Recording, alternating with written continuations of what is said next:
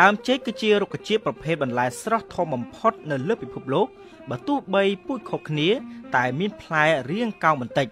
ងាយស្រួលបកសម្បកនៅពេលទុំចេកមានពណ៌ផ្សេងផ្សេងគ្នា ដូចជាបៃតង ក្រហមលឿងនិងត្នោត នៅពេលដែលទុំចេកជាផ្លែឈើទន់និងមានរសជាតិផ្អែមត្រូវបានបរិភោគជាប្រពៃណីនៅក្នុងតំបន់អាស៊ី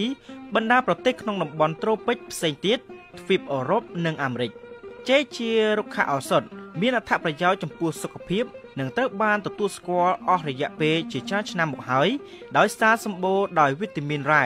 និងសារធាតុសរីរាង្គដូចជាវីតាមីន C វីតាមីន B6 riboflavin អាស៊ីតហ្វូលិកអាស៊ីតផេនថូថានិកនិងណៃស៊ីនព្រមទាំងវីតាមីនជាច្រើនផ្សេងទៀតសារធាតុរ៉ែនៅក្នុងផ្លែចេកមានដូចជាប៉ូតាស្យូមម៉ុងហ្គាណេសម៉ាញ៉េស្យូមនិងតុងដែង ចេកក៏ជាប្រភពដ៏ល្អនៃអាហារកាកសរសៃនិងប្រូតេអ៊ីនផងដែរបច្ចុប្បន្នចេកត្រូវបានដាំដុះនៅក្នុងបណ្ដាប្រទេសជាង100នៅជុំវិញពិភពលោកនិងអាចត្រូវបានផលិតជាអាហារកាកសរសៃស្រាចេកនិងត្រូវបានរួមបញ្ចូលនៅក្នុងការតុបតែងលម្អផងដែរផ្លែចេកមានអត្ថប្រយោជន៍ចំពោះសុខភាពដូចជាចេកមានសារៈសំខាន់សម្រាប់ការសម្រកទម្ងន់ដោយចេកមួយផ្លែមានប្រហែល90កាឡូរី ចេកមានកាកសរសៃជាច្រើន ជួយសម្រួលការរំលាយអាហារការពិសាចេកនឹងមិនធ្វើឲ្យឃ្លានអាហារដោយរីរាំងការបញ្ចេញអរម៉ូនមួយយ៉ាងឈ្មោះក្លេលីនដែលជួយកាត់បន្ថយការទទួលទានជ្រុលរក្សាបានសុខភាពល្អព្រមទាំងជួយឲ្យពួកគេស្រកទម្ងន់តាមបែបធម្មជាតិជួយបំពន់ឆ្អឹង ចេកជួយឲ្យឆ្អឹងរឹងមាំនិងមានសុខភាពល្អ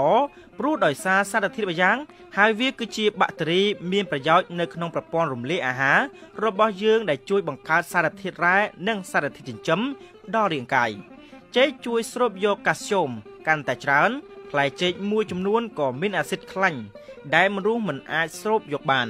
វាបង្កើនសមត្ថភាពរបស់យើង ក្នុងការស្រូបយករ៉ែដូចជាកាល់ស្យូមនេះឯង កាល់ស្យូមគឺជាធាតុសំខាន់បំផុតនៅក្នុងការផលិតនិងការបង្កើតឡើងវិញនៅបញ្ហាឆ្អឹងនៅក្នុងរាងកាយវាជួយកាត់បន្ថយឱកាសនៃការកើតជំងឺពុកឆ្អឹងនិងភាពទន់ខ្សោយពីធម្មជាតិប្រឆាំងនឹងការរលាកសមាសធាតុនៅក្នុងចេកគឺជាការប្រឆាំងនឹងការរលាកមានន័យថា អាចកាត់បន្ថយការហើម និងការរលាកសន្លាក់នានា លក្ខខណ្ឌទាំងនេះគឺមានជាទូទៅបំផុតចំពោះមនុស្សចាស់ឬអាស្រ័យលើរបបអាហារមិនល្អដូច្នេះការទទួលទានចេកមួយថ្ងៃមួយផ្លែអាចជួយលោកអ្នកចាក់ចេញពីការឈឺចាប់បានច្រើនឆ្នាំជួយបង្កើនទម្ងន់ក្រៅពីជួយសម្រកទម្ងន់ចេកក៏អាចជួយឲ្យឡើងទម្ងន់វិញបានផងដែរនៅពេលបរិភោគជាមួយទឹកដោះគោចេកជួយបង្កើនទម្ងន់របស់មនុស្សយ៉ាងឆាប់រហ័សទឹកដោះគោផ្ដល់ប្រូតេអ៊ីនចាំបាច់ឯចេកផ្ដល់ជាតិស្ករ លើពីនេះទៀតដោយសារចេកត្រូវបានរំលាយបានយ៉ាងងាយអ្នកដែលមិនសូវធាត់អាចទទួលទានបាន5ទៅ6ផ្លែ បន្ថែមលើរបបអាហារបាន ដោយមិនប៉ះពាល់ដល់ការរំលាយអាហារឡើយធ្វើបែបនេះអាចបង្កើតកាឡូរីពី500ទៅ600បន្ថែមទៀតដោយវាចាំបាច់ណាស់សម្រាប់ការឡើងទម្ងន់ដោយសារចេកមានសមត្ថភាព ក្នុងការផ្ដល់ថាមពលភ្លាមៗអ្នកលេងកីឡាអាចបរិភោគចេកអំឡុងពេលសម្រាកបាន ដើម្បីបង្កើនធម៌ពល ព្យាបាលការរលាកទ្វារធំ ឬជំងឺឬដងបាតជំងឺរលាកទ្វារធំមានការលំបាកនៅពេលបន្ទាប់បង់ដែលអាចនាំឲ្យមានការហូរឈាម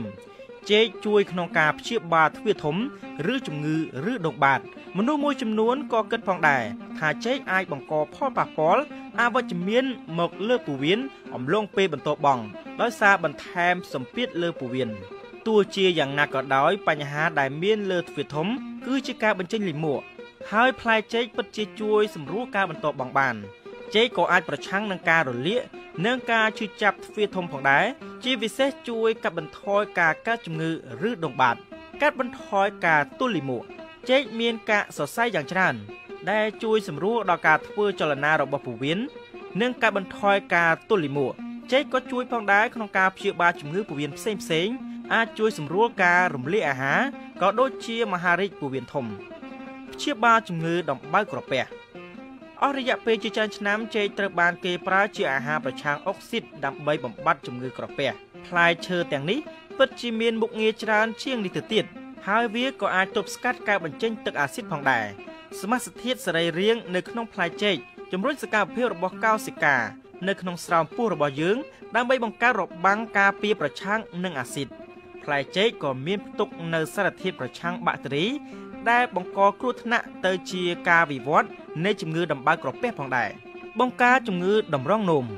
សារធាតុប៉ូតាស្យូមនៅក្នុងផ្លែចេកជួយគ្រប់គ្រងលំនឹងសារធាតុរាវក្នុងរាងកាយហើយអាចជួយបន្ធូរភាពតានតឹងលើតម្រងនោមនិងសម្រួលដល់ការបត់ជើងតូច វាអាចជំរុញបណ្ដេញជាតិពុលពីរាងកាយដល់ការបត់ជើងតូចបានញឹកញាប់ លើសនេះទៀតសមាសធាតុប្រឆាំងអុកស៊ីតកម្មនៅក្នុងផ្លែចេកមានឥទ្ធិពលដល់មុខងារតម្រងនោមនិងការប្រមូលផ្ដុំជាតិពុលខណៈដែលវាជួយជំរុញដល់ដំណើរការល្អនៃតម្រងនោមបំពន់ចក្ខុវិញ្ញាណផ្លែចេកក៏ដូចជាផ្លែឈើដទៃទៀតដែរមានផ្ទុកទៅដោយសមាសធាតុប្រឆាំងអុកស៊ីតកម្មនិងសារធាតុការ៉ូទីណុយក៏ដូចជាការបញ្ចូលគ្នានៃសារធាតុរ៉ែដែលអាចជួយបង្កើនសុខភាពភ្នែករបស់លោកអ្នកការខ្សោយប្រសាទកែភ្នែក ជំងឺភ្នែកឡើងបាយភ្នែកងងឹតនិងជំងឺដក់ទឹកក្នុងភ្នែកត្រូវបានបង្ហាញថាថយចុះដោយសារការញ៉ាំផ្លែចេកនិងផ្លែឈើស្រដៀងគ្នា ការពារសរសៃឈាមបេះដូងចេកគឺជាប្រភពប៉ូតាស្យូមដ៏សម្បូរបែបដែលអាចកាត់បន្ថយសម្ពាធឈាម ដោយសម្រួលភាពតានតឹងលើសរសៃឈាម និងសរសៃឈាមអាទែឈាមអាចធ្វើចលនាបានយ៉ាងរលូននៅក្នុងរាងកាយនិងអរម៉ូនអុកគីណេតផ្សេងផ្សេង នៃរាងកាយដើម្បីបង្កើនមុខងារវាអាចជួយលុបបំបាត់ជំងឺសរសៃឈាមបេះដូងនិងជំងឺដាច់សរសៃឈាមខួរក្បាលរួមទាំងជំងឺគាំងបេះដូងជាតិសរសៃនៅក្នុងផ្លែចេកក៏អាចកម្ចាត់កូលេស្តេរ៉ុលលើសចេញពីសរសៃឈាមនិងសរសៃឈាមអាទែផងដែរដែលជួយកាត់បន្ថយភាពតានតឹងលើប្រព័ន្ធសរសៃឈាមបេះដូង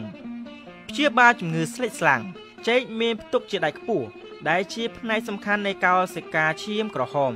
វាជួយក្នុងការព្យាបាលជំងឺខ្វះឈាមចេកក៏មានសារធាតុទង់ដែងដ៏សំខាន់ដែលជាធាតុសំខាន់ក្នុងការបង្កើតកោសិកាឈាមក្រហម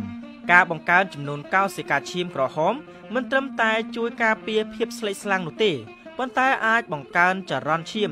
ដល់គ្រប់ផ្នែកទាំងអស់នៃរាងកាយផលិតអុកស៊ីហ្សែននិងបង្កើនមុខងារបន្ថយការឈឺចាប់ពេលមកវត្តរដូវរបស់ស្ត្រីចំអិនត្រយងចេកយកមកពិសា